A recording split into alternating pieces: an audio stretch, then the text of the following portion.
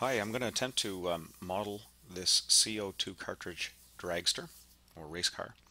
Uh, and this SketchUp is really, really useful because we can pre-visualize where our cuts should go to try to give the thing some style before we actually commit to working it in the shop.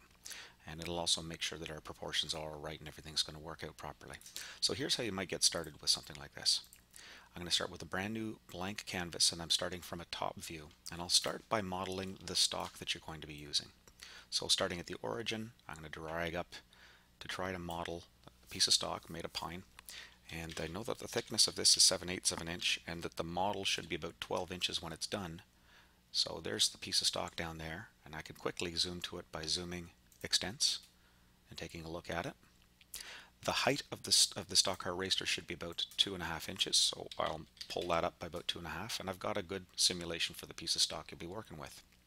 Now to make this thing happen, we're going to do something a little different. We're going to laminate two pieces of stock together to give it some extra width. And um, we can emulate this in SketchUp by triple clicking the object that we've just made, the stock. And I'm going to turn this thing into a component with a right mouse click. So a right mouse click, make component, and create. And I'm going to then pull this thing over. I could copy and paste it. Actually, you know what? Why don't we just copy and paste it? It's the easiest thing to do. Control C, and control V allows me to put it just about anywhere. But here's one more little trick that I'm going to do to this thing first. Components are kind of neat because when you do something to one component, the same thing happens to the other. This is the superpower you have, and this is what's going to help us with a little bit of symmetry. So if I were to draw something on it like that, you get two of those things attached to each of the components. Okay, so they work in parallel, and this makes life nice and simple. But we want this thing to, if we want to have something happen on this side of this piece of stock, we want it to happen to this one over here. So we really want a mirror image of the component. And that's pretty easy to do too. If I select that component, like that, actually if I just select it like this, I guess does it, I'm going to use the scale tool. And when you use the scale tool, you get all these handles that you can start stretching it. And I'm going to use the one dead center in this face, and I'm going to pull it over to flip it, a mirror version. And if I drag it to a certain point, it's eventually going to snap. Aha, I can see the snaps right about here. So what I have is a complete mirror of the original piece. And now I'll laminate the two of them together virtually by hovering over that corner point and lining it up with this corner point. And that's the idea of the lamination. So now when I start sketching on this piece, eh, the same thing will happen to the far piece. And this will let us get perfect symmetry as we put this thing together. Now, normally I'd be dragging guidelines to where I want to put bits and pieces. By the way, as you edit this, be inside the component. You should be seeing a bounding box around the outside of it as you're editing it. Because if you don't, you're not going to get the same results. So when we edit a component, we've got to make sure we're in the component at all times. So I'm going to, to uh, mock something up. And you'll notice the guidelines are being echoed on the other side. We'll just ignore that other side for now. And I'm going to very quickly make a profile for this thing. And like I say, this is not anything fancy by any means. I should be much more careful if I really was concerned about this.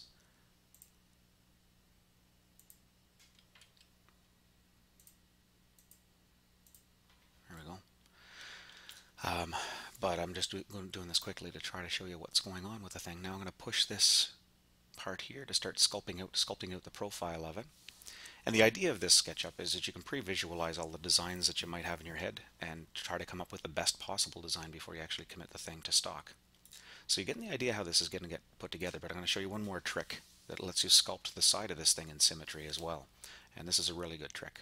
So I'm going to go to a top view now and what I'd like to do is I'd like to carve out one side of this thing so that I get a little bit of um, a little more streamlining to what's going on and, and give it a lot more style and shape. It was easy to do that profile, but the streamlining happens best like this, I think. Uh, first off, let's see, i am uh, still inside the component. I have to be inside the component. And I'm going to try to find some points to begin with. I'm going to try to find a point here. I'd like at this point to drive a little chunk in at a sort of a 45 degree angle or so. And it's only going to be a little bit like this.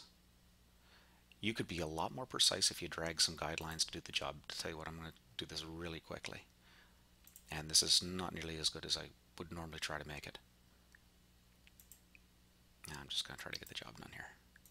Okay, so what I've created here is like a cookie cutter that I can shove down on the thing. A better word would be a die for it.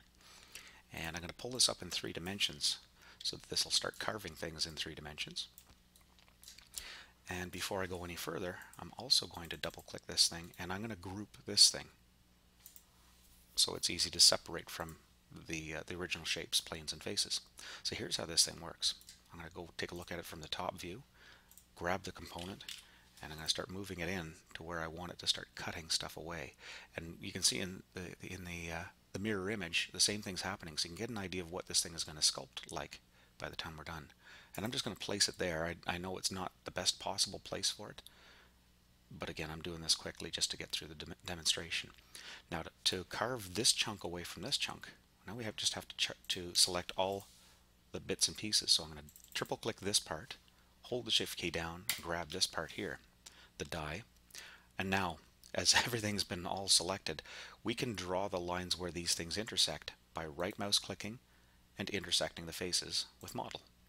And now I'm done with this die, so I'm going to simply delete it, and I'm left with the lines that this thing just created.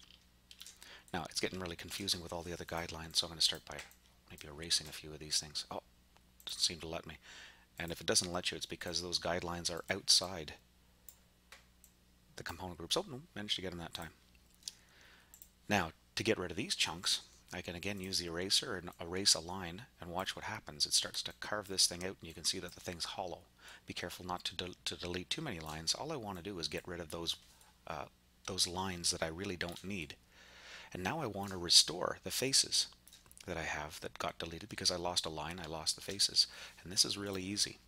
If there are four points that are all in the same plane that deserve to have a face, all you have to do is restore one of the edges that helps define that surface and it all comes back. And so I think I only have to do a couple of these to bring back the faces that I wanted.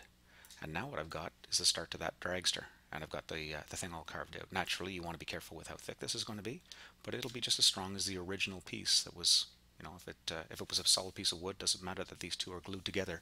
They'll support each other and it'll be pretty darn good. Uh, and then next, naturally, you could be drawing uh, wheels and all that sort of stuff. So, um, not a bad point at this point in time, although this thing is a component. You can still triple click it inside the component and group it. You can have a group inside your component if you're happy with that. And then when you start drawing things like wheels and the like, they won't interfere. So I might draw a wheel like this and pull the thing out for whatever the thickness is. Oops. And you get the idea. You can start putting the entire thing together. Naturally, there's lots more detail that goes into it, but those are some fundamental ideas of how you can sculpt this thing out pretty easily and with deadly accuracy. Good luck. Have fun.